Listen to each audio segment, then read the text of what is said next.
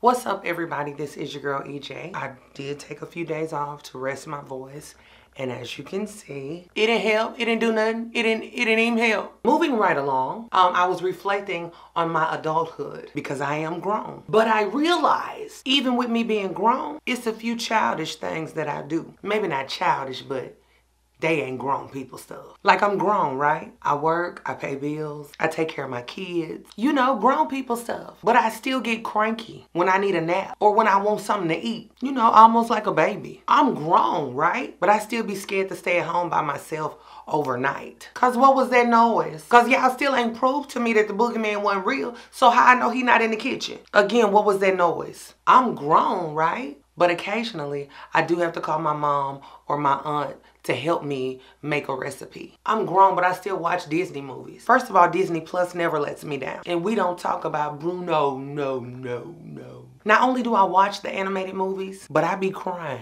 How you grown, but you be crying about animated characters? I don't know, I just do. I'm very much grown, right? But if you take me to a fair or an amusement park, 98% of the rides, I ain't gonna get on them. Mm-mm.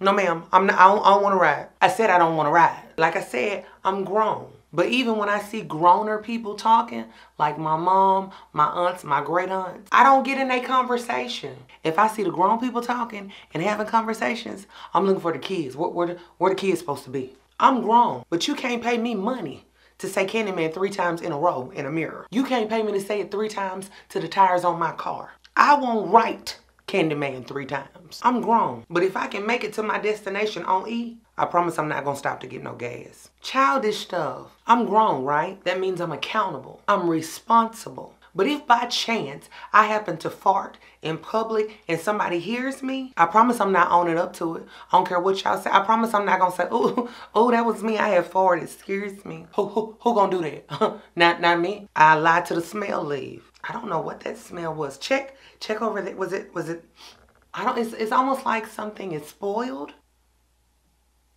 All right, guys, now as always, I want to hear from you. I know you grown, you know you grown. We, we all know you grown. But what's something that you do that may be considered to be super duper childish or not so grown? Thank you guys so very much for tuning in. This is your girl EJ, and I will see you guys next time. Bye.